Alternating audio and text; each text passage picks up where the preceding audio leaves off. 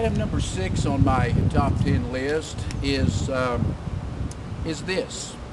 If you ever have a dispute with the builder, the builder will not always take the customer's always right approach.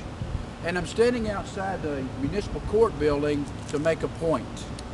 That statement is sad but true. The builder will not always take the customer's always right approach. Because in the seller's market, the builder would sometimes much rather give you your money back than to have to deal with you and the problems you may be causing.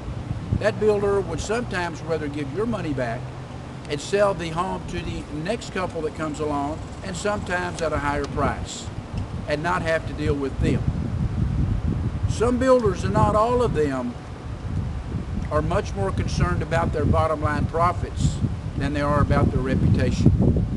So understand the power of buyer agency and the under, uh, and the power that a, a good buyer's agent that sells new homes, that's been there and done that, that's been in negotiations with builders and won in every case, in my case anyway, I've had uh, clients that had problems with builders.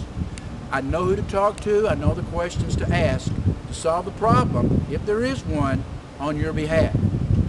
That way, both of you don't end up there.